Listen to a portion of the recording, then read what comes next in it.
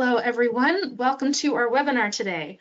Our topic for today is Resilient Power for Florida Community Health Centers. This webinar is being presented by Clean Energy Group as part of our Resilient Power project, and we have a very exciting panel lined up for you today. Before I pass it over to them, I'll go over some very quick webinar logistics.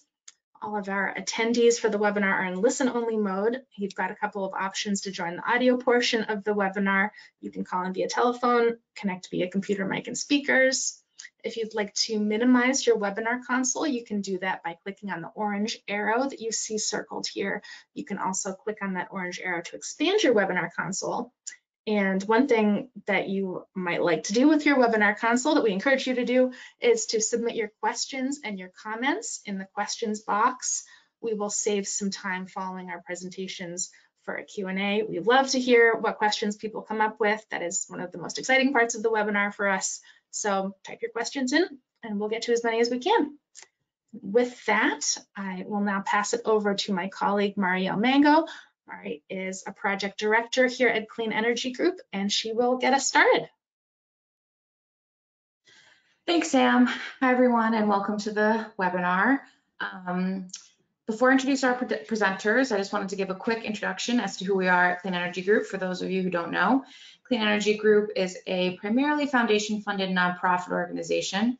Our work involves providing technical assistance and policy support, as well as information sharing on energy, clean energy topics. Our partner organizations include state and federal agencies, industry, utilities, developers, NGOs, grassroots organizations, the list goes on. We also have a sister organization, Clean Energy States Alliance, which is a membership coalition of organizations, primarily state agencies, that manage clean energy funds, and I encourage you to check out both of our websites to learn more. This presentation today is brought to you by the Clean Energy Group's Resilient Power Project.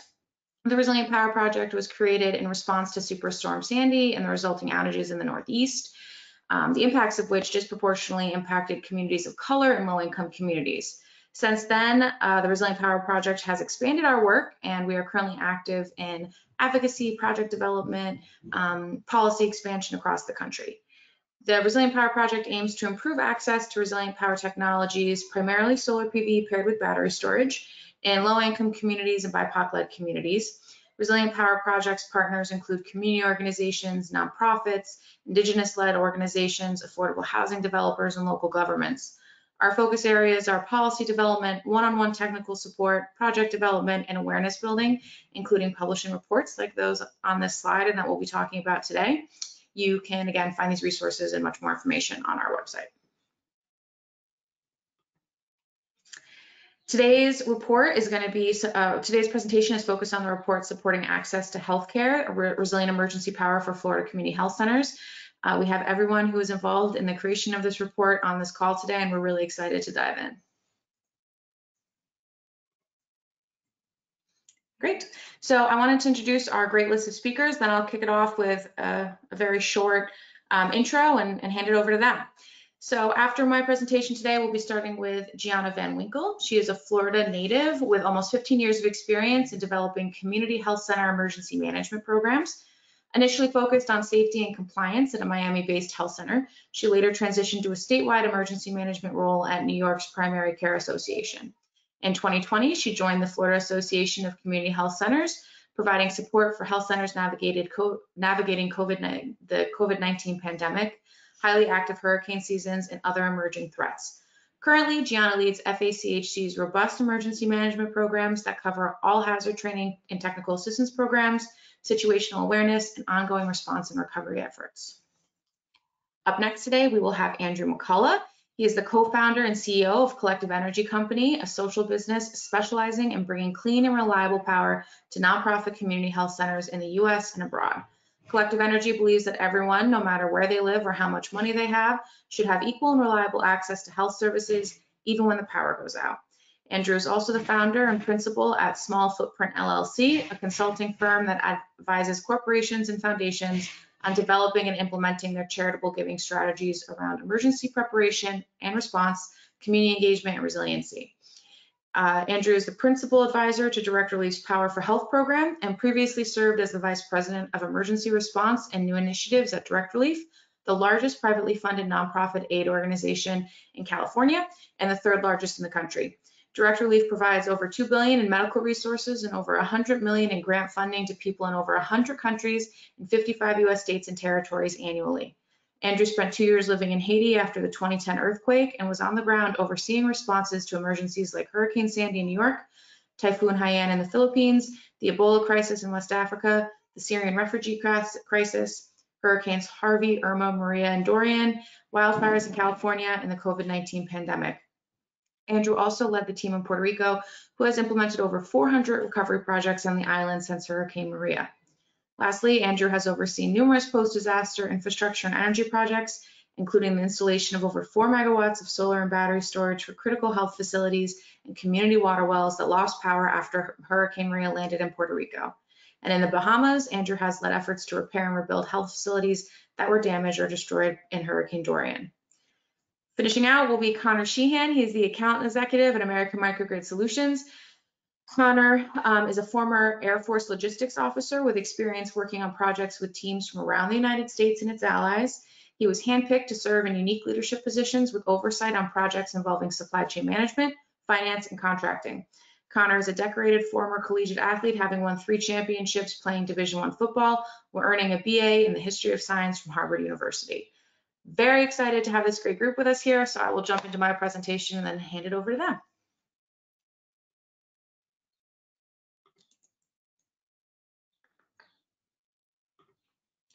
Great. So I'm just going to give a little bit of background today. The focus of our, uh, our conversation today will be on the report, um, and I thought it would be helpful to give just a little bit of background as to why we were looking at resilient power for health clinics, why health clinics are such an important community resource, but really where we're at in terms of power outages, um, health, and equity. So I wanted to give a little background on Clean Energy Group's Technical Assistance Fund to start. This is a program that we offer that actually supports project development on the facility level. Uh, the Technical Assistance Fund supports the development of clean energy projects aimed at decreasing energy burdens and increasing resiliency. It funds primarily a, a techno-economic feasibility assessment from a third-party engineer that allows you to have an understanding of what would solar and battery storage look like at a particular facility. Uh, the eligibility for the program is that the facility is located in a low to moderate income community or serves otherwise marginalized communities and would like to continue to provide services in the event of a power outage. Grants range from five to 15,000 depending on the size of the project. Um, we do prioritize 50% of funding to serve uh, BIPOC-led organizations, Black, Indigenous, and people of color-led organizations, and there's a very low barrier of entry to the program. So I bring this up because we have supported a lot of health clinics using this program. We've worked with churches, food pantries, um, nonprofits, emergency preparedness officials. It's really any institution that the community deems critical in the event of a power outage. This is a nice map um, showing some of the projects that we have supported to date using the Technical Assistance Fund. Eight years ago, I would say the majority of these projects were in the Northeast. That's why you can see quite the, the big bubble over there. But increasingly, especially over the past three or four years, we have seen a boom in applications and support across the country um, due to the climate crisis and really every state um, being impacted by natural disasters and power outages. So what is the connection between health, equity, and energy security? The reality is access to reliable electricity is integral to public health. Electricity um, is no is not a privilege, it's a right things like cooling and access to air conditioning are no longer a privilege. It's a it's a integral part of public health. Right now, we're seeing um, in this country over the past 10 years, there has been a huge push towards home health care, which is amazing, allowing people to age in place or folks with access and functional needs to remain home or in uh, an apartment setting. And um, while there's awesome benefits to this, there are considerations that need to be made, especially when it comes to the fact that at least two and a half million people rely on electricity dependent medical equipment in their home. Um, millions more use electricity for home care services or especially for refrigeration for medication. Uh, these folks are especially vulnerable in the event of a power outage because it could be a life-threatening situation. Even a, a, short power outage, not having access to your um, medical device is, is a major issue. I included here um, just a, a couple stats that I think are helpful regarding power outages. Compared to 2000 to 2010, weather-related power outages increased by 78% between 2011 and 2021. This is especially true in the Southeast, which has had the most weather-related major outages since 2000. So our conversation today about access to uh, critical community facilities having access to reliable backup power so they can remain open and operational in an outage is uh, more pertinent than ever. Home health hospitals and outages. A couple great, I think, studies of what has happened in the event of an outage when folks do not have access to reliable energy in their own home or at a critical community institution, such as their local community health clinic.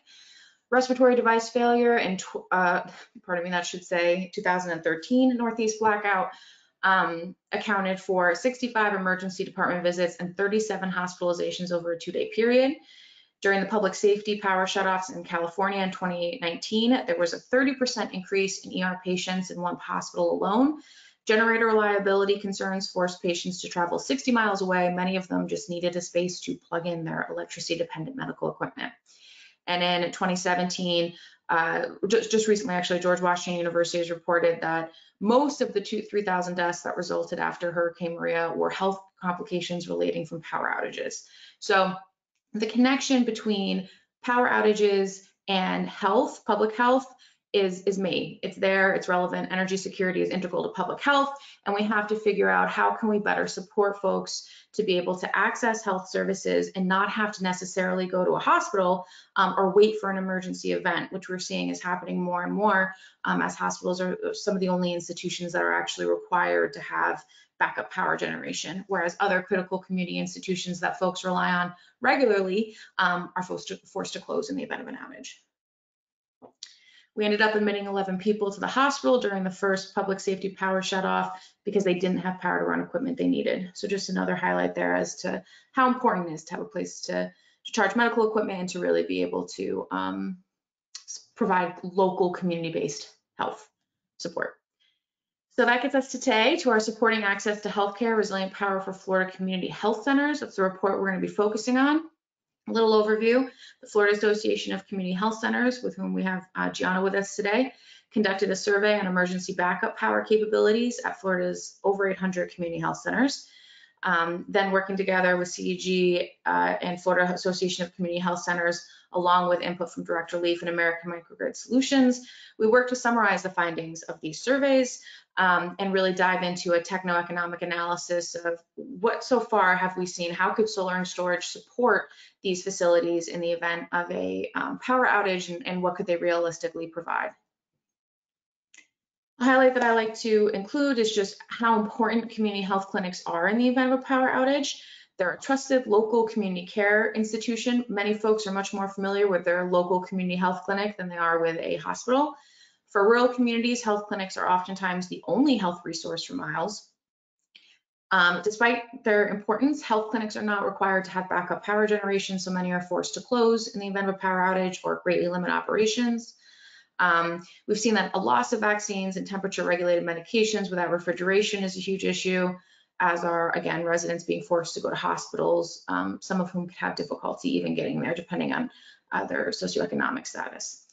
I've included to the right here a uh, graph that was resulting from the report, which basically showed that 83% of health centers reported having vaccines stored at individual sites. However, only 40% of those sites reported having backup power to maintain refrigeration in the event of the outage. So the vast majority, 60% of these health centers in Florida that were polled, um, have to are forced to transport vaccines within their own network of facilities so that they can remain uh, chilled and in working refrigeration. We present here in this report, in addition to a fossil fuel options like natural gas and diesel generators, that battery storage is a reliable, resilient energy solution, uh, especially when paired with solar PV. Solar and storage can automatically island from the grid in the event of an outage. It's optimal resilience when it's paired with solar PV. So as long as the sun is shining, you have access to some backup power. Um, fuel shortages, which we have heard time and time again from community health clinics, are a major issue in the event of a natural disaster to continue their generators running. They're not an issue with solar and storage, right? that does not emit pollutants into communities that are already disproportionately feeling the burden of um, the impacts of climate change, can deliver electricity bill savings and generate revenue, and it supports continuity of services. So it allows health net centers to actually be able to plan for um, what are they going to do in the event of an outage? What can they support? Who can they support? I've highlighted here a value of resiliency, which is really looking at different sectors. How do we monetize the savings associated with solar and battery storage? And yeah, a lot of it is utility bills, um, utility programs that are put in place, kind of those obvious monetizable benefits. But what else is there? And uh, for health centers, a big part of that is what do you lose when you're forced to shut down? And daily losses from the um, survey that was conducted for this report, health centers reported potential daily losses of up to $300,000 per day of power outage, averaging about 41,000 per facility per day of power outage. Uh, this is a, a, huge number, right? This is this is enormous, and this number wasn't even taken into consideration when you're estimating savings for um, solar and storage for your institution. But I think it's it's nonetheless really important to highlight because there is a value of resiliency that goes beyond kind of your your basic utility savings. I just put here one of the health clinics that CEG has supported along with uh, Direct Relief, a health clinic case study of Crescent Care in New Orleans, Los Angeles, Los, Louisiana. Um, this is a, a, great example of how a community health center has utilized solar and battery storage to improve their resilience. Um, in another great example of they were prepared. They had multiple diesel generators when Hurricane Ida landed in Louisiana. Um, they dealt with major fuel shortages so that they they had were forced to close anyways because they just couldn't get the fuel that they needed to keep the generators up and operational. It also took a lot of staff capacity time to try to coordinate how to get fuel. And ultimately the generators failed. So the facility was out without power for days despite having kind of a robust backup power system. So working through the Community Lighthouse Initiative, which is led by Together New Orleans, solar and battery storage has been um, installed. There's a resiliency of five days through the solar and storage system. They have also incorporated a natural gas generator for redundancy, which I believe brings it up to nine or 10 days of backup power in the event of an outage. And um, they're anticipating 16,000 in annual electric savings. And this project, much like the ones we'll talk about today in Florida, was supported through direct relief. So great example of how health centers have already started taking advantage of resilient power technologies. There's my contact information if you're interested in learning more, but I want to pass it over now to Gianna so she can dive in more to the, the survey and the report.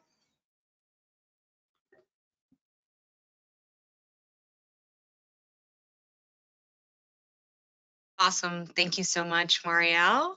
And I should have control now. One moment. All right. Thank you again. It's so great to be here with all of you. Um, Marriele, you did a great job sort of laying the groundwork for what I'll speak about today. I'm a Gianna Van Winkle, as you all know, and I work for the Florida Association of Community Health Centers a little bit about what we do. Uh, we are the state's primary care association. We work under a cooperative agreement with the Health Resource and Services Administration, HRSA's Bureau of Primary Care, to provide support for the federally qualified health centers and lookalikes throughout the state of Florida.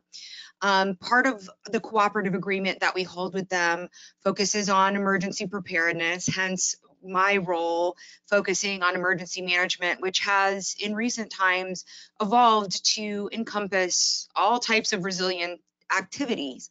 And, you know, it doesn't take much imagination to reflect on what has been happening here in the state of Florida for the last several years and how important that this resilience this resilience approach is taken um, by our health centers because it requires investment, it requires time and energy. Yet, you know, without it, we could see ourselves in a really bad place. So this is all part of what we sought to uncover through this work. Our health centers are located throughout the state. So as you can see on this map, there's a lot of diversity in the communities they serve, as well as the facilities themselves. We have large facilities, small facilities, and everything in between. We also have organizations that operate one site, and we have organizations that operate 20 or 30 sites. So you know, when we set out to support our health centers, we really need to take a tailored approach and start to work on what resilience means for these different types of organizations. All right, I'm having a little trouble advancing the slide. Let me make sure I have control. Ah, there we go. All right. So a little bit about this project. Um, you know, I, we had identified early on, I think it was after maybe the 2020 or 2021 hurricane season, you know, the, the amount of storms and the amount of threats that we were under in the state of Florida um, really put into perspective what our vulnerabilities were. And even if a storm doesn't make a direct impact, um, we often see power outages in the state, and that was actually the most common reason why health centers were closing. Um, you know, of course, we know with a more severe impact, we're going to see significant um, losses and closures due to power outages and other factors, which we'll talk about in a moment. But, you know, with armed with that information, we wanted to look at what was the current environment in our state and in how were health centers approaching the decision to adopt emergency power or install or upgrade emergency power at their sites? Um, it was right around this time that we were approached by direct relief. So there was synergy there. Um, they wanted to find out, you know, what we had heard from our health centers around their interest in resilient power. Um, again, their hands-on experience, I think at the time it was specifically stemming from Hurricane Michael, but many other historical events they've responded to in Florida also kind of led them to arrive at the same place we were, really hoping to get a better understanding of how emergency power was currently being used, and then how could we expand that to increase the resiliency and promote continuity of operations. Um, by doing this, we're also seeking to increase the awareness of health centers about different options for expansion. Again, moving beyond just generators, which is what most of our health centers have. We'll talk about that in a moment, but um, also to incorporate um, solar and storage. You see here um, on this slide sort of how the timeline was set out starting last summer. Uh, we did deploy that survey statewide. We had 32 health center organizations participate, providing not only information at the organizational level, but also site specific information, uh, very detailed. And so it was a great um, show of support for health centers to take the time to participate in this and kind of show there was a hunger for this information and, and a desire to learn more. Um, we did need to follow up with interviews and site visits because you know you can only learn so much from a survey. Really getting into the nitty gritty details with our health centers about their unique factors at each of their sites. Again the decisions that they made that led them to where they are as well as some of um, the vulnerabilities that they've identified really kind of helped us move to the next phase. And health centers, you know, really those who wanted to move forward had a lot of momentum behind them, you know, and it was great to sort of see folks self select into the process. Whereas, you know, we have still a group of health centers that I think are kind of very curious, but waiting to see where all of this goes, um, knowing that, you know, this is somewhat new in, in this world um, in terms of the adoption of newer types of uh, emergency power sources. So uh, currently we have 15 sites undergoing screening and those initial design steps. Um, well, actually those that 15 was split into two groups. Half is going now and we'll be revisiting the other half um, hopefully later this year. But um, as we move forward, we continue to learn more, again, about each health center's unique needs and what the systems may look like is going to inform our future efforts. So again, not to go back too far, Marriele did a great job of sort of describing what is in the report. Um, you know, we're we're gonna focus here for the rest of my time on how we have incorporated the survey results to develop some recommendations for health centers and where we at FAC plan to go with this information and how we plan to move forward, uh, both with our health centers as well as our partners uh, in state and nationally. So again, returning to our survey findings, Marriele mentioned that, you know, based on the information we collected, approximately 40% of health center service sites, so excluding the school-based sites and excluding the mobile units, so we're talking about our brick and mortar, more, more typical clinic sites that you would think of, approximately 40% of those sites have an emergency um, backup power source. And those that do have one, about 45% of those utilize a diesel generator. Uh, Marriele touched on the issues around fuel. We have definitely observed that firsthand during emergencies um, because the just the the setup of our state here in Florida, we know that there can be transportation bottlenecks, and we know that the fuel that's coming in is prioritized for critical facilities like hospitals. So um, that is another selling point, another benefit of incorporating a hybrid model, which is, you know, what we're looking at through this project. Um, it was very interesting to see that um, only about 19% of the health centers had identified potential partners or funding for systems, but there was about 80%, it was almost complete, exactly converse.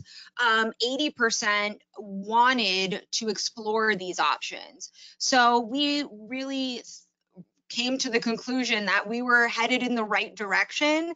And with the partnership and support of Direct Relief, we're able to really not only just collect this information, but take action on it, which is really exciting. Um, one of the things that we wanted to make sure we did, this goes back to that awareness raising effort, is to assess what are the current barriers, whether those are real or perceived, um, that health centers are facing when it comes to the expansion of emergency power. So the most uh, prominent one was economics. Um, people cited the installation cost as well as the maintenance cost as the primary barrier. Second to that was the structure and location. Health centers, as I mentioned before, um, are in a wide variety of different types of communities and different types of buildings. So certain health centers found either the age or structure or um, flooding vulnerability of their sites to be an issue or a potential barrier. And then the one that we thought we could most quickly affect change on was uh, knowledge and capacity.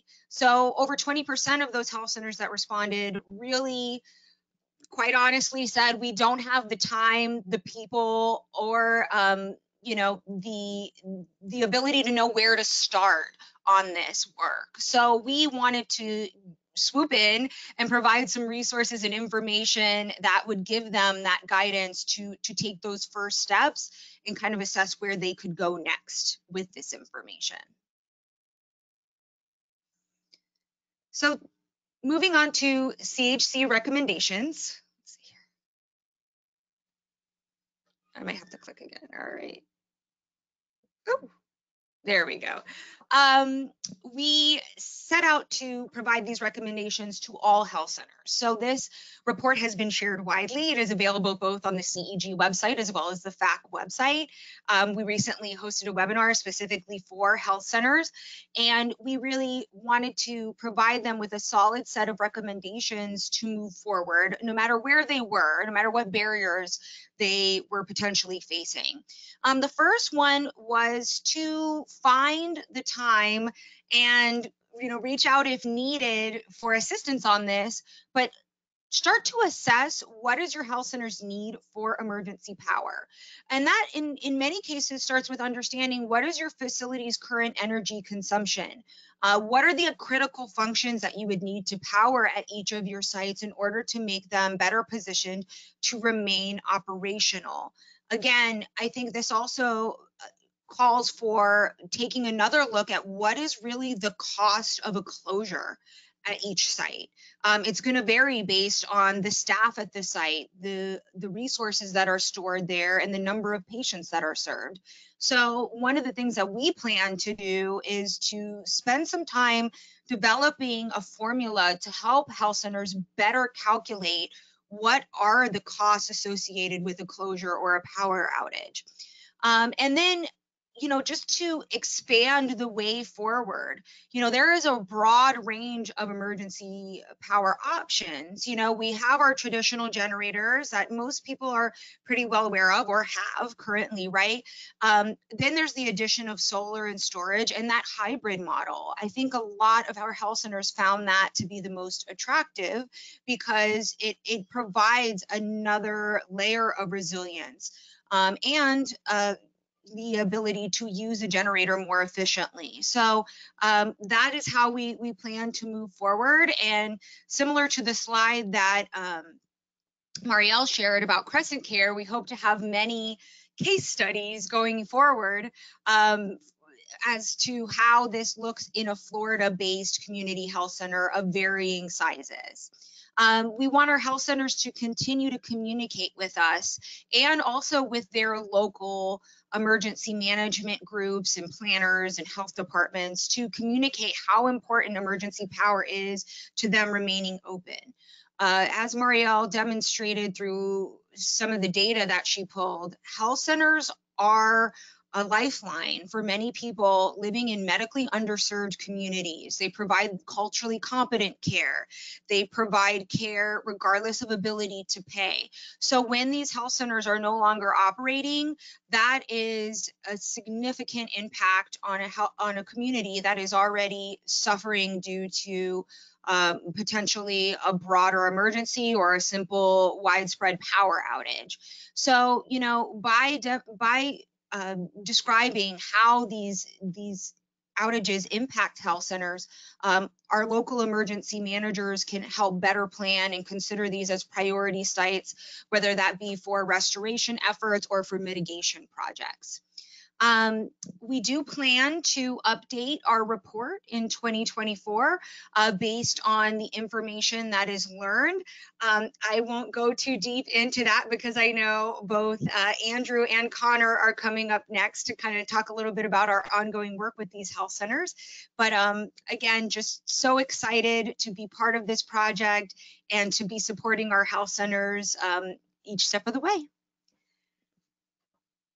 That's it for me. Thanks so much.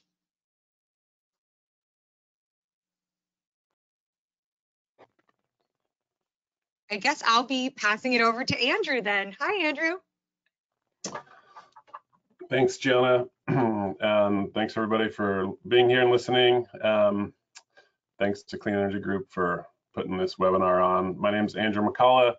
Um, I am the representing um, Direct Relief, uh, an amazing nonprofit organization that uh, recognized um, early on this need for reliable power uh, for the community health centers that they support. And just speaking today to kind of set this, remember what's happening in our in our country at least today. We're in record-setting heat wave. I think Fourth of July, the highest heat set record set um, ever. We have 50 million people right now across the country facing extreme heat, and uh, we'll be setting records in Death Valley this weekend of 130 degrees. So, um, sort of a seems like it's every summer, but it's timely to be talking about why resilient power is necessary, especially for the most vulnerable in our communities who, if you're living outside, if you're homeless or you're working outdoors, and you're in back to back 110, 120 plus degree heat, um, you're you're going to need a place to go, uh, and community health centers can offer that support. So um, we, as Gianna mentioned, you know, reliable power is a is a right, and um, we're trying to address this for the most vulnerable in our communities by clean energy microgrids for community health centers. Um, so again, I'm trying to address, there we go. Um, both, uh, so Direct Relief, a fantastic nonprofit organization that sends medicine and medical supplies all around the world and supports community health centers here in our country with donations of, of medicine. And often it's cold chain prescription drugs um, like insulin and vaccines. And Direct Relief realized that um, if health centers couldn't stay powered, these critical life-saving expensive medications, which are more and more now requiring refrigeration, um, go bad. They can't see, they can't help their patients in the way um, they're supposed to. And Direct Relief, to their credit, became involved in installing microgrids in, in Puerto Rico after Hurricane Maria, longest blackout in US history. Every health center on the island had a generator, but none of them had power. So all that they wanted was to to ensure that their experience after Hurricane Maria and not being able to serve their patients never happened again. And so um, went about installing clean energy microgrids for about 20 health centers on the island, and plus many um, many uh, communities that relied on a well for water, and without a pump, you couldn't pump the water, and that's why people didn't have water after Hurricane Maria. And so um, and then I became so passionate about this work um, and believing in this work um, that I also um, ended up starting a company to specifically focus on this issue as well called Collective Energy. Um, so some of the, I'm just going to lay out the sort of problem statement, but again, I'm going to, we, this group has spent a lot of time together, so we sometimes say similar things, so I'll, I'll breeze through. But essentially, you cannot provide uh, quality healthcare without power. Um, hospitals have always been required backup power because that is known. You need power to provide quality healthcare. Um, community health centers in our country have never been required to have backup power, but are now required to have electronic health records and to, and to store medications in refrigerators. And so this is now a problem that they that they have to solve. And what we know is the communities they serve are hit first and worst, and so they they even you know have a, a more need for reliable power uh, as the grid is becoming worse and worse and less efficient and old. Uh, right now, if you look at that map, there's 14,000 customers without power in my state in California, and there's no special care for health centers um, to to not lose their power. Second problem is climate change, which is that um, you know, climate change is negatively impacting healthcare, and the health sector is a large contributor to climate change. So um, they'd be the fifth largest contributor to CO2 emissions if they were a country. And so um, this idea that these health facilities are seeing patients that are, you know, um, negatively impacted by the thing that they're um, contributing to. Uh, and so what better way to improve health and also to um, be doing it with clean energy um, and green energy instead of making the problem worse. And then three, these rising costs of, of electricity. And so um, power costs are going up year over year with no end in sight. It's a large budget item for many health centers and one that they can't lock in place. And so a clean energy microgrid can help them um, keep their costs in check and be able to plan 25 years out that they can have stable power costs. Um, so uh, again, my my experience was being on the ground in every major disaster in our country since um, Hurricane Sandy and before. Um, a lot of people now uh, who like didn't and i saw time and time again going to health centers and bringing medicines to them that they had to close their doors because they didn't have any power and to me it was the kind of it was the most tragic thing to see a health center that serves the most vulnerable uh, and has systems in place has staff in place has the right medicines in place has um, is able to care for people but simply cannot due to power. And so it became this recurring thing that would happen every time I would uh, be on be on site with the health center. And so really coalesced after Hurricane Maria where we can do something about this. Uh, there is a way to prevent these power outages and it's going to help them save money and be more green along the way. And so um, the goal is to help every health center in the country who wants one to get a clean energy microgrid.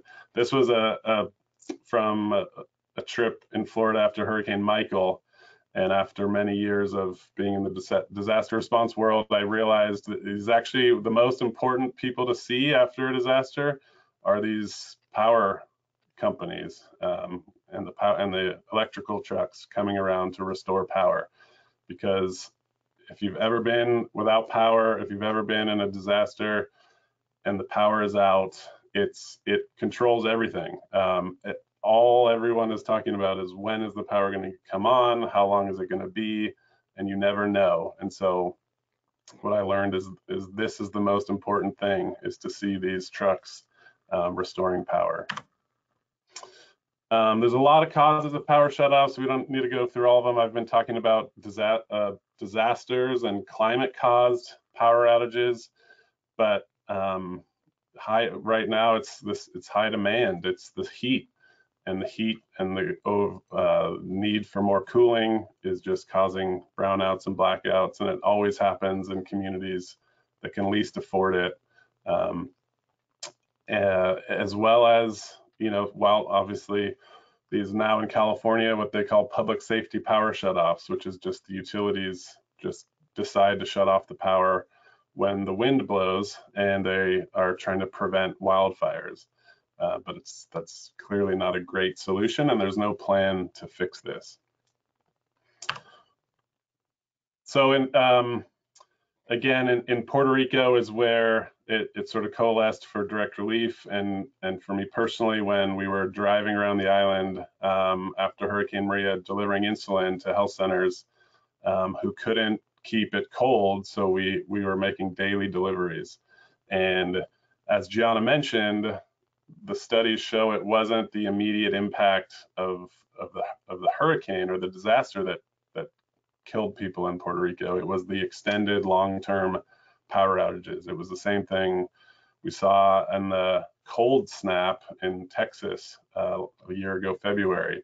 It was power loss that killed people. Uh, it's some people now tell me they understand what I do after seeing or reading the book Five Days at Memorial, just now a show on Apple TV about the, the days after Hurricane Katrina at Memorial Hospital when they lost power because the generator flooded that was days later. It wasn't the hurricane that caused the problem. It was the subsequent flooding and power loss that then led to 82 people dying. So we saw this in Puerto Rico.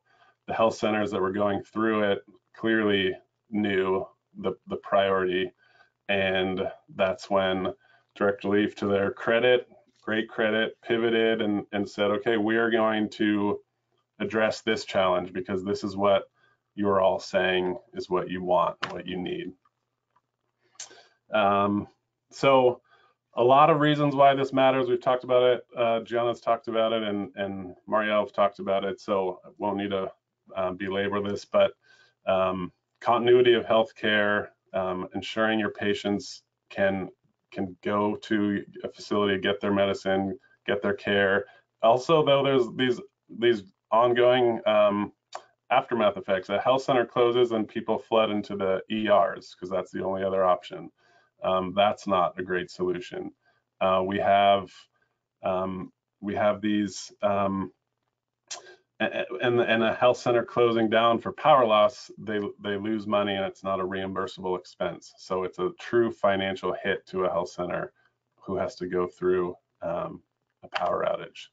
And so this is what we saw back to Puerto Rico.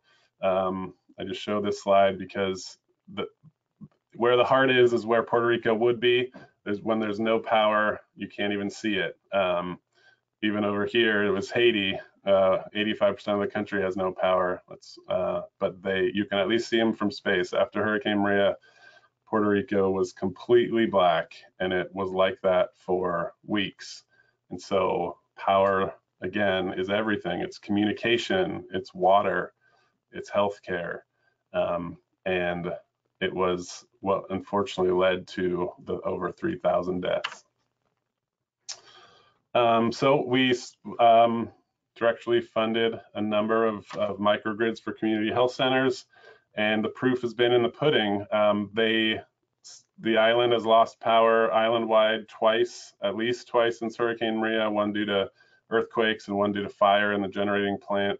And all the facilities that had microgrids con continued operations, um, could see their patients, and they've been saving tens of thousands of dollars in these years since they've had uh, microgrids. So the, the goals of this again are starting with patient care, lost, um, you know, avoided loss of life, and then moves to, not moves to, I mean, why this program is so amazing is because it has so many goals and you can rank them where you want to rank them. But between patient care, uh, financial benefits, as well as climate benefits, all wrapped into this one one project. Um, so I'm going to, I think one thing that, well, real quickly, if those of you don't know about uh, the, the, background of health centers, Gianna talked about them a little, but started in the in the 60s as part of the Civil Rights Act and the Great Society program to provide healthcare and specifically in medically underserved communities and to provide care to the most vulnerable without turning anyone away. And there are now over 14,000 of them. Um, they're the largest, aggregated together, they'd be the largest healthcare provider in our country. About one in 10 Americans gets their care from a health center. One in five people in rural America goes to a health center. 95% uh, are under of their patients are under the poverty line. 65% are racial and ethnic minorities. And so, for anyone knows about sort of what's going on with the Inflation Reduction Act and the federal funding that's coming out to support clean energy projects in specifically low income communities, Justice 40 communities, um, energy communities.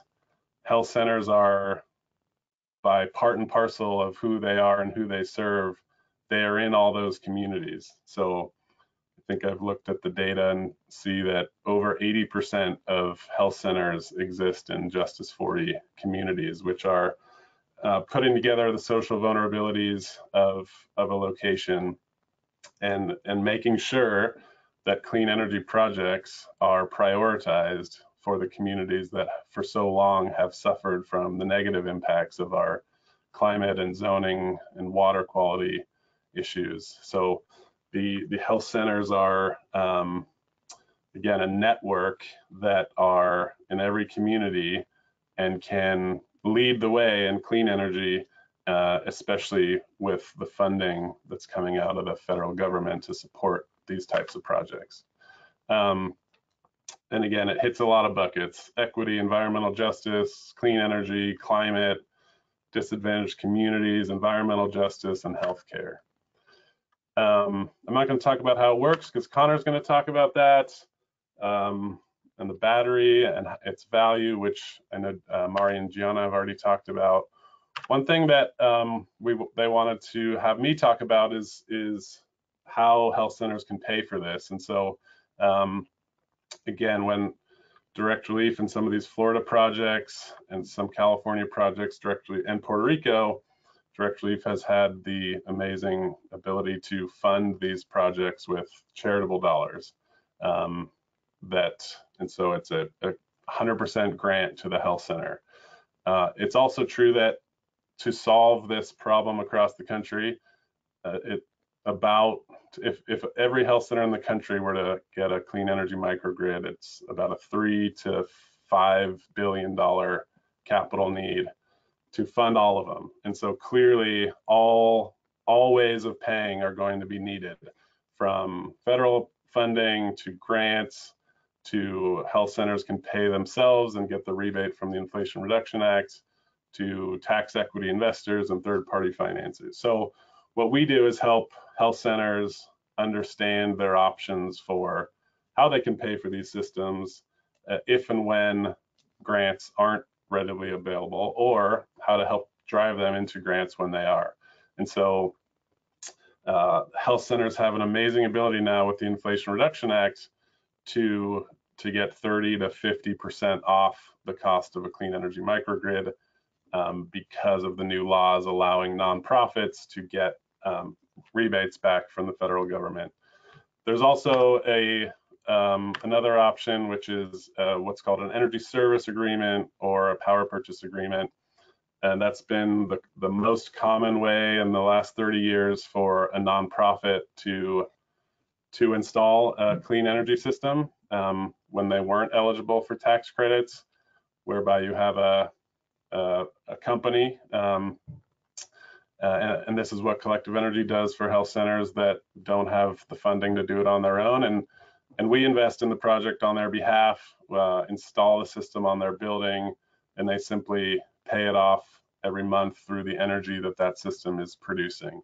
So it's sort of a shared value structure where they're they're benefiting from cleaner and more resilient and lower cost energy, and we're helping helping that by installing a system on their rooftop.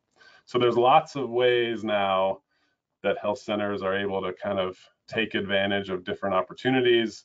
We think that you know access to capital should not be a reason uh, one of these systems isn't installed, and so we try to just make them aware of all their options. Um, this one has been talked about, so I'm going to skip to uh, this is Direct Relief's own warehouse. Um, was the first permitted microgrid in, in the United States, commercially permitted microgrid in 2017. It's a large warehouse with uh, $2 billion worth of medicine flowing through it every year and in an extremely um, uh, climate prone and power loss prone area um, in Santa Barbara, California. And, and so this microgrid was installed on this facility for the same reason a health center would install a microgrid on their facility. It's that they, they can't afford to lose power they can't afford to lose all the medicines inside that building. So it's a it's a solar battery microgrid with a backup generator. And so you turned on essentially multiple times from power loss in Santa Barbara. And I think this was really what how Direct Relief saw like if we need this, clearly the health centers that we support with this medicine that is coming out of this warehouse will need this as well. Um, uh, that, so uh, a couple other groups are involved with this. The National Association of Community Health Centers is very involved in this now. They're pushing it, uh, education out to health centers, case studies out to health centers to show who of their colleagues are doing it and why to to support why health centers should should try to do this. Capital Link is a financing um, capital planner to health centers, and they can help health centers understand the the costs associated with it, the benefits, as well as with loans to do it. Um, and I will, lots of other partners uh, as well, including some on the call that make this all possible. And so far, I think now from from Puerto Rico, where from 2018, where I think there were about 16 health centers that were um, supported. Um, Direct Relief and other partners and Collective Energy are now, there's probably now over 150 health centers across the country that are going through the process of installing clean energy microgrid. So it's come a long way in a number of years and um, a lot more to go, but um, encourage everyone on the call to, if they want to get involved, there's lots of ways to get involved. So I will stop there and I will send it over to Connor for, for the technical side. Thanks, Andrew. Appreciate it. I think I have control to click through. All right, so my name is Connor Sheehan, and I'm an account executive with American Microgrid Solutions, and we're really excited to be a part of these programs and initiatives with the FACT, CEG, and Direct Relief, and to be a part of this discussion today. So I'm going to walk you through the different factors that go into our analyses and what we look for, and, and then discuss the results of the resilient power screenings for these Florida health centers. Click through, there we go. So first, I'll give you a little bit of background on AMS and what we do. So we design and develop energy solutions for our clients to meet their financial, resilience, and sustainability goals. These systems that we create combine solar and other forms of renewable generation, uh, batteries, fossil fuel generators, and controls to integrate all those different components. So in the 100 plus projects that we have in analysis, development, or already completed, uh, we work with the host of the facility to design a solution around the facility's unique constraints to meet their goals and then oversee that solution's implementation into reality because we're not just interested in doing thought experiments or academic exercises. We truly want to see all of these projects get built and the value of a microgrid be brought to all those communities. And so what we're doing with the Power for Health program is providing the initial analysis to help aid in determining which sites are best suited for a resilient power system and the grant from direct relief, and then managing those projects through RFP and final completion. And all the hosts of these facilities have other jobs and responsibilities associated with running health centers. So uh, we don't, uh, they don't need the additional uh, workload associated with learning all there is to know about a resilient power system and uh, managing that process through completion. So that's where we come in. So uh, because there might be some people on the call who aren't familiar with what a resilient power system is, here's a quick overview. This is a system that integrates various forms of energy generation and backup power to provide a building or campus with the ability to maintain critical operations during grid outages. So it's designed to ensure that a reliable and continuous supply of electricity goes to its users. Um, most of the time, the grid is going to be operating uh, as it should, just normally, and facilities will have a constant stream of electrons flow into the buildings and powering its loads from the grid. And after a solar and storage system is installed, uh, the biggest difference for the owner during this time is just that they'll see lower utility bills. Uh, however, as I'm sure everyone has experienced at one point or another, the grid will fail and leave you without power for an unknown amount of time. So you could be without power for minutes, hours, days, or weeks, all depending on the nature of the outage. And when the grid goes down, uh, on-site renewable generation and fossil fuel generators will feed into your battery and supply your facility with power to continue your operations, which could be the entire facility or a predefined portion of the facility identified by the host as being critical. So we always look to balance the host goals when determining, uh, when designing and developing a project. The first being resilience. What does the facility need to be backed up? What is the minimum length of time those loads need to be backed up? What about the typical length of time? And resilience is what provides you with the ability to maintain your operations through outages. Next is sustainability, and uh, uh, this is directly tied to the amount of solar you can put on your facility. So in a little bit, we'll talk about some constraints to maximizing your solar, but here just know the more solar panels you can get on your property through roof, carport, or ground mount installations, the more solar production you will have and the more carbon you will offset. And finally, economics. Uh, everybody has slightly different economic goals and constraints, whether that's an initial budget, like Gianna was talking about being the number one barrier for health centers and, and getting a resilient power system, or a certain required payback period or desired 20 year cash flow, or even a goal of just stabilizing your energy needs and getting more predictable uh, future utility expenses. So it's essential to consider all of these areas when we design a system and weigh the importance of each category so that we can fine tune the system to meet the host specific and unique needs. So our objective for these screenings was to identify a solar and storage and generator solution that would provide each site with at least four hours of backup, so minimum worst case scenario, uh, and typically eight hours of backup. So that's gonna be average throughout the year.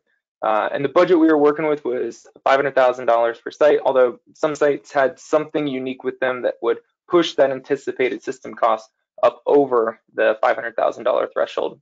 Uh, and whenever we get a portfolio of sites like this, we understand that all sites are unique and require careful review of their specific characteristics, and these 15 were no exception.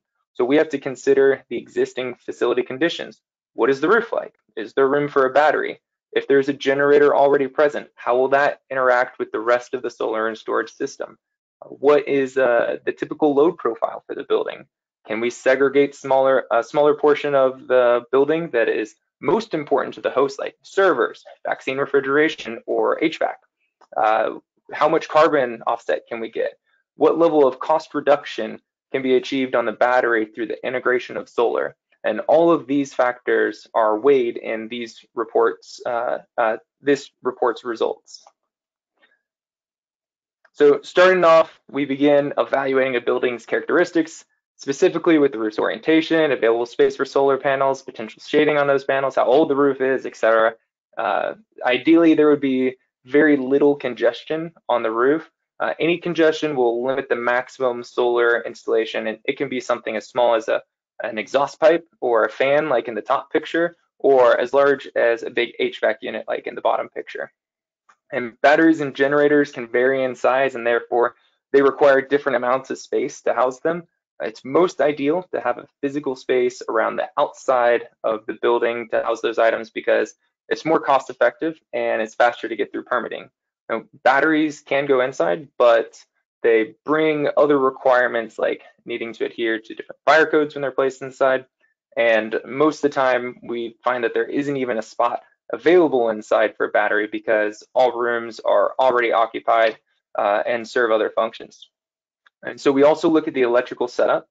Uh, uh, reading the electrical single line diagram and panel schedules will show us if there's any upgrades needed to the current layout in order to support a new solar and storage system. And uh, also if we can easily segregate the critical loads that the host identified. Uh, even if there is a generator present already, that does not mean there's no need for a solar storage system. So uh, pardon the double negative there, but uh, generators do offer a good form of redundant backup power, but they have their fair share of problems. So integrating generators and batteries is very advantageous to the site. And we'll often set up a generator to feed into the battery so that uh, once the battery depletes to a certain level, say, you know, 25%, then we'll program the generator to run at full speed when, uh, which is its most efficient mode, bringing the battery back up to full charge. And in doing this, we don't make the generator try to handle the peaks and dips of a facility's energy needs because it's really not good at that. It's not that efficient. Instead, the battery handles those peaks and dips uh, because that's one of the uh, many things that it's really good at.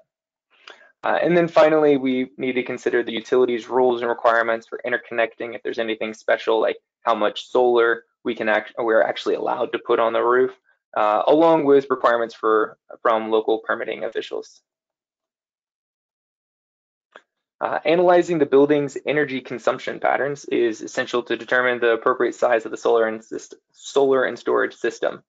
Uh, we review historical energy usage, so utility bills or interval data if that's available, and that helps us to understand peak demand periods, overall energy usage, and seasonal variations. So here, this is one of the Florida site's load profiles and is a common annual load profile where their usage goes up in the summer, which is probably because of an increased HVAC usage. And uh, I know there are budget constraints with almost every project, as we've talked about plenty of times during this call already. Uh, so the cost of the system is going to be directly tied to how uh, how much the battery backs up. So the more loads the battery supports, the larger the battery needs to be, and the larger the price tag on that battery. And that's one of the major reasons why we work with the host to pick out the critical loads so that we can ensure the system supports the things that matter most to the host without breaking the bank.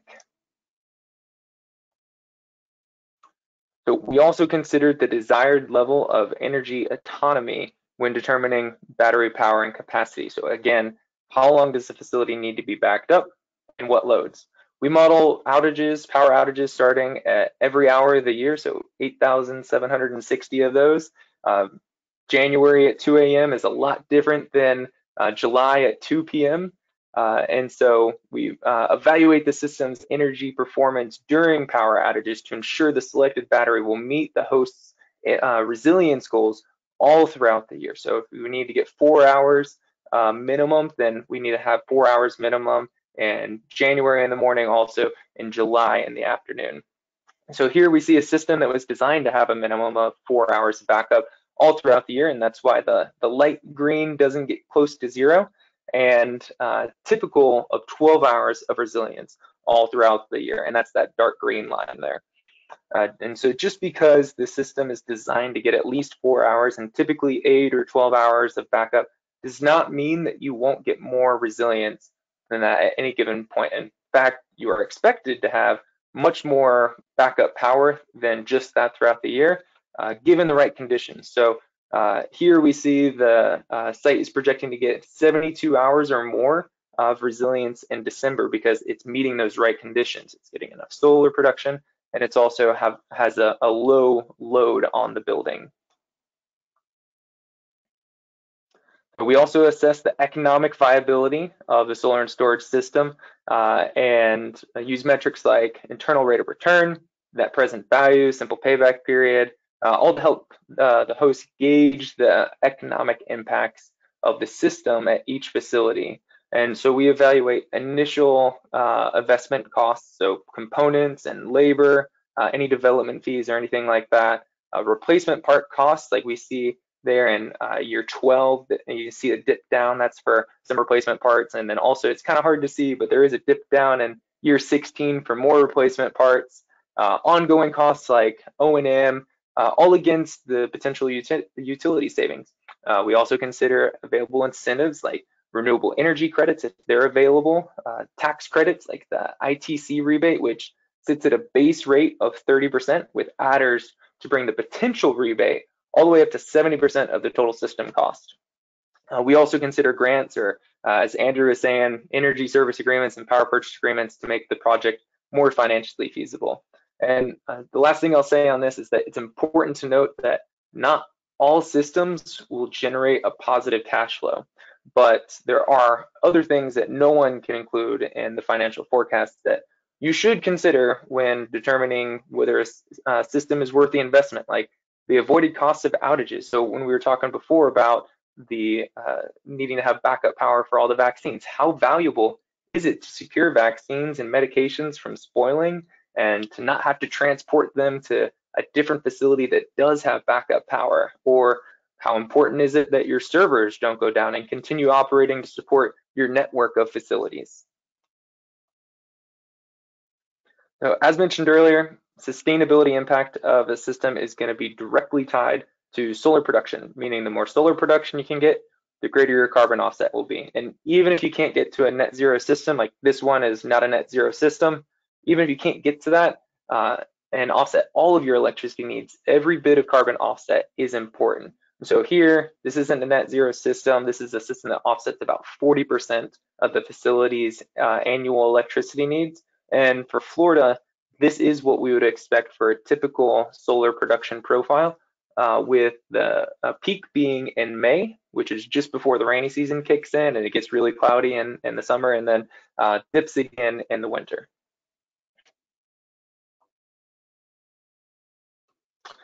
Okay, and here we see the results for seven of the 15 sites as shown in the white paper published, I think, a month or two ago.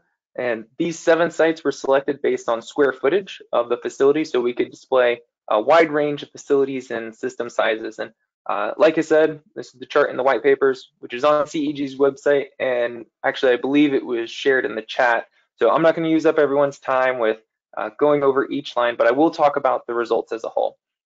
So each one of these sites is unique. So while you can deduce some trends from looking at this, you can't create any one formula to right size a system to meet your specific set of goals.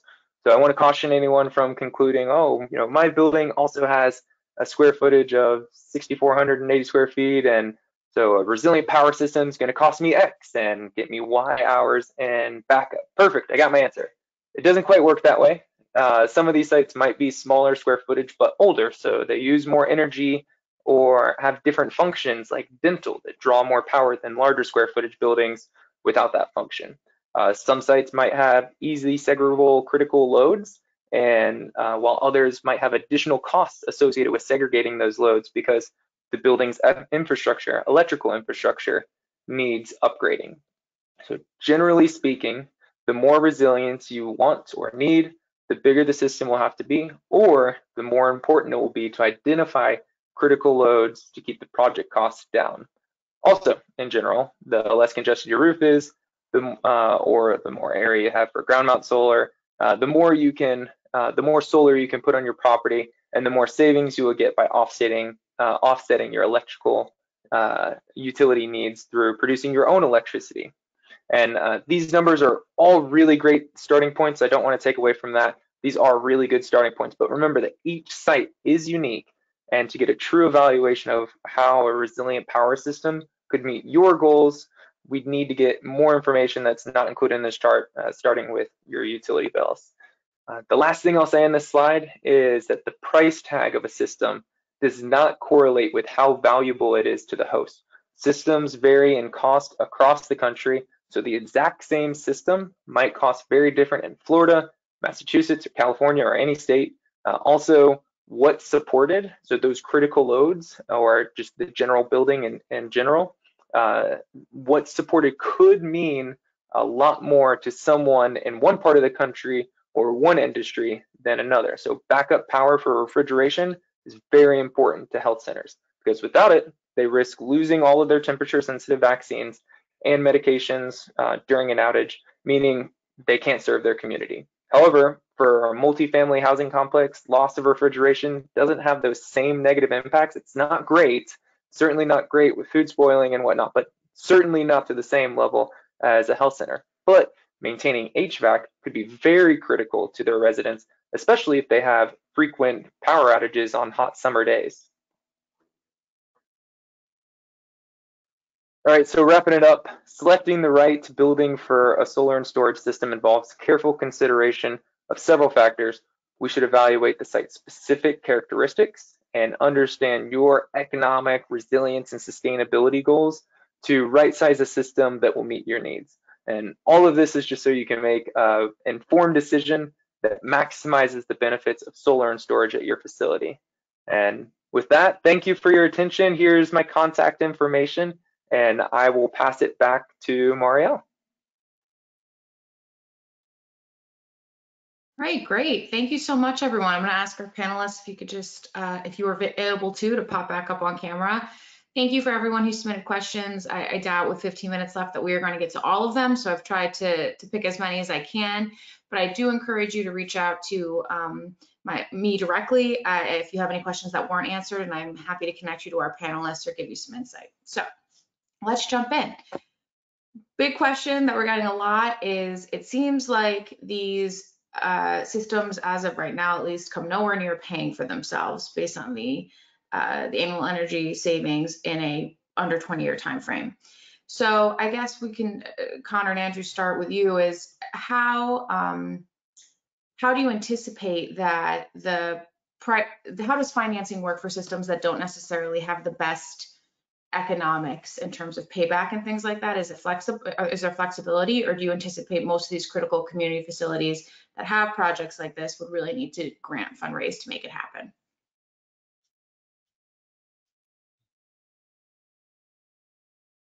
Uh, I'll start. I'll start, um, and I think I would say, unfortunately, it is dependent on where the facility is located. Uh, the, if you're looking at pure specific return on investment it's based on how much they pay in power. So a hundred percent these systems can have a good return on investment and payoff in certain parts of our country where power costs are high. That's California, Hawaii, Puerto Rico, New England, the Northeast. Um, additionally, because of the Inflation Reduction Act, every, nearly every single one of these projects gets a 40% discount on the cost of the system because they're nonprofits located in either low income or energy communities. So off off across the board, there's a 40% discount. They'll get that whether they pay themselves or if it's financed, it'll still be claimed by a tax credit. So the cost is coming down 60% across the board no matter what. On top of that, local energy company rebates and incentives. We're looking at projects in Massachusetts and Connecticut right now that are net positive hundreds of thousands of dollars over 20 years because of the combination of those benefits. So uh, agreed, uh, in parts of our country where energy is subsidized and people are paying less than 10 cents in a kilowatt hour in power, harder, harder to pencil. Grant funding still very uh, much uh, would help the, the, the economics of those projects. Other parts of the country, they work now. I want to know too, and please correct me if I'm wrong, but the chart that you showed, Connor, in the report, um, the the final numbers for finance for the system installation did not include any ITC estimates, correct? It was just the blanket cost. Are you referring to the cash flow forecast that I Yeah. showed? Yeah. That one did. So that one was not one of the uh, projects as part of the uh, Power for Health program where it's uh, all grant funded. Those ones we have a, basically a, a year zero cash flow of uh, zero because it's all the capex is paid for up front and then you just have all the future costs of income from utility savings and expenses from the uh, from the um, O&M. But so if we go back a few slides here, I don't know who has controls if that's me or not.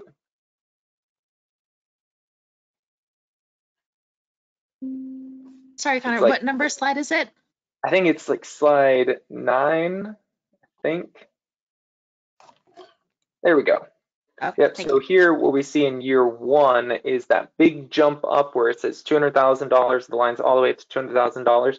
That's that Inflation Reduction Act where the, the rebate came back to them. So that is a huge cash flow coming back to them in year one as uh, the rebate for the system. And so all of these systems have extra value on them that can't necessarily be captured in this. So this is just financial. So like Andrew was saying, basically if you have high utility expenses, then the system will pencil financially a lot uh, more easily. However, there are other things. So um, making sure that your vaccines don't spoil. So you have a certain amount of vaccines on, on hand and there's a value to those, uh, a dollar figure placed on those. We can't necessarily quantify that and say that for sure all the power outages are are going to be uh, mitigated and that if they weren't mitigated, then you would have lost all of those uh, vaccines. It's, it's a very, very delicate thing. So what we can do is say, this is what the system will do for you without that and say, this is what your 20 year cash flow will be, what your net present value will be. Now, you as the health center, you have a very good understanding on what you have on site and uh, how valuable it is to keep those vaccines refrigerated and, and being able to continue to serve the facility or how difficult it is to actually transport those to another facility. Maybe another facility is uh, 40 miles away, that's the closest one that you can get, then it's really, really critical that you have backup power because transporting those during uh, a crisis could be very problematic. And so it is up to the, the host to take this information and use it to help gauge whether or not this 20-year cash flow justifies being able or, or the uh, value of keeping those loads powered is uh, justified by the 20-year cash flow. Obviously, when you have a system that pencils and it's saying, hey, you're gonna uh, over 20 years, you're gonna be saving close to $400,000, and that's a pretty easy decision. But other ones where it's closer to zero or a, a negative 20-year cash flow, then that's when you have to start making those decisions. It's really helpful, thanks. Um, Gianna, the next question is for you. Did you find that when you were working with health centers that you had anyone, was it more pushback against solar and storage and like, we really just want to rely on fossil fuel because that's what we know? Or did, was it more of an education in terms of we just don't know what solar and storage technologies are? I think there's a mix. I think uh, the majority of folks were just unaware of how these types of systems could be integrated with what they currently have. Again, some of this might be the Florida-ness of it all. Um, you know, uh, in comparison to some other states, uh, we haven't seen, we'll say, as much movement, ironically, here in the Sunshine State towards solar as we probably could. Um, that being said, there there is projects out there. Um, I, I feel like in this state, you know, there's again some polarization about people who have heard things about solar, but not a lot of firsthand experience working with it. So I think we were able to overcome a lot of that actually. Um, polling folks on the webinar we had recently for health centers, 100% of the participants said that through this initiative, they had learned something about backup power in general, and I think 80% of them said specifically about solar and storage. So um, we're making some headway there. Um, nevertheless, I think that you know those who are still a little adverse to adopting what is considered a newer technology uh, may come around again once we have these case studies of health centers in Florida and the benefits that it could provide them and the cost savings that it could provide. Um, again, this is going to vary site by site, so we'll have to present health centers with that information um, when they, you know, seek it out. Um, that being said, I also think that some health centers have pretty good experience with the generators that they have. So why would they make that change now? Um, then again, I will tell you after Hurricane Ian, I heard of a number of health centers who had their generator um, damaged by debris or flooded or um, some type of overheating, mechanical failure, or a gas leak. I heard all of those just after Hurricane Ian. So, um, no doubt, I think we're all realistic knowing that they can fail, but until you experience something like that firsthand, you might not have that motivation to seek out something new. Yeah, it's really helpful. We got a lot of questions regarding that. Uh, another one, and I, I, can throw this to the group really, I think you'd all be qualified here to, to chat about this, is how much has um, safety concerns related to battery storage played into an interest, first off, in solar and storage? And secondly, the actual ability to implement it? Are you seeing that like fire departments or other places in your experience are actually a hindrance to solar and storage design? Or is most of the, has any concern been brought up by actual facility owners because they aren't aware of the technologies? Yeah, I'll, I'll start off with that one. So it is um, newer technology than uh, fossil fuel generation, so like diesel generators, natural gas generators. So there might be a little bit of extra permitting process that we have to go through and time to get local authorities to approve the plans and then as we're going through and the system's been installed to you know give that last check and and commission it. And so i would say that there are some delays in projects due to that but overall batteries are very very safe and uh, and are a very very good alternative to a very a very safe alternative to fossil fuel generators yeah, and just to add, I mean, again, I think partly it depends on the community and the location you're in and how used to they are with dealing with this technology. As you said, Gianna, it is new.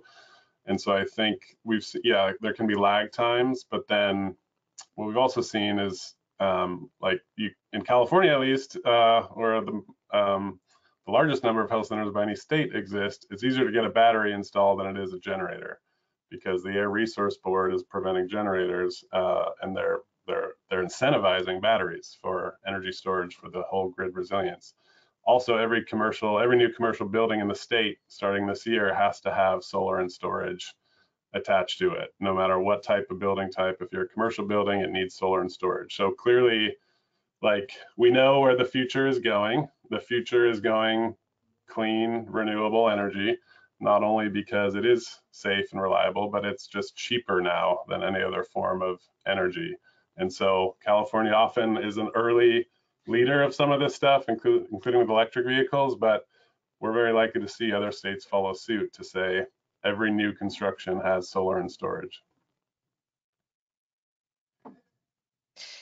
And I think, um, you know, going back to the last question, that that may be um, lurking in the minds of some folks who are opposed to this. You know, they've they've heard something about the safety of it, or they don't feel that um, based on their experience. You know, it, it varies from community to community um, in this state as well as others in terms of permitting processes and things like that. Um, it may stem from some of those experiences. Um, and again, just sort of uh, in the grand scheme of things, like Connor said, um, these folks have a lot on their plate. Um, you know, we're, of course, just like many other sectors and specifically in healthcare dealing with a lot of staffing problems. So um, where this ranks in terms of a priority, um, I think will grow in the future, but as of now, we have a lot of folks on the watch and wait and hopefully, um, you know, will learn and be able to demonstrate to them what is a, a reasonable concern and what other things just you may have heard about but aren't really applicable um, in this case. I, I know of one health center that specifically said, well, what happens when salt water comes in contact with the battery, you know, because of their proximity literally to the intercoastal. So there's some very like Florida specific concerns that people have, which I think are valid, you know, based on their experience. So um, we can only answer those questions when they're brought to us, and, and that's what we'll aim to do going forward. Great, and I think our, we have time for one last question, and um, let me see here. I I think, I think one that would be nice to end on is um, for folks that have, I think probably Connor and Andrew, this would apply more to you, who have experience having installed solar and storage at health clinics in different parts of the country. So Andrew and I, you spoke a lot to Puerto Rico. Have you seen that in the years following that they continue to actually work in the event of a power outage? Like, what is your experience with seeing systems and how they perform over time? Connor? Do you wanna, I'm, I'm happy, yeah, I mean, I'm happy to, Yeah. that's, again, like the proof is in the pudding. And so I think to, sh- and it's such clear examples of, of subsequent power outages in Puerto Rico when these sites and these water wells, these fire stations all remained open and operational. It shows, I mean, it shows it works. Um, these systems are not complicated. There's no moving parts, so they will continue to work um, with some simple cleaning and monitoring. Um, so I think more, you know, proofs are going to come as projects and systems get built. Um, but what I can tell you is, you know, of, of all the sites in Puerto Rico that haven't yet gotten one installed, it's all it's still their number one priority because they've seen how how effective it is for their colleague organizations. Yeah, and we haven't had any issues with projects not working after commissioning. Everything continues to work exactly as as we expected it to, and continue providing support to the facility. Great, and I'd like to remind everyone on the, on the call that if you have interest in learning more about how solar and storage can benefit your critical facility, whether it's a health clinic or something else serving a community, please feel free to reach out to Clean Energy Group and we'd be happy to um, talk to you about that or, or connect you to someone who uh, might know more.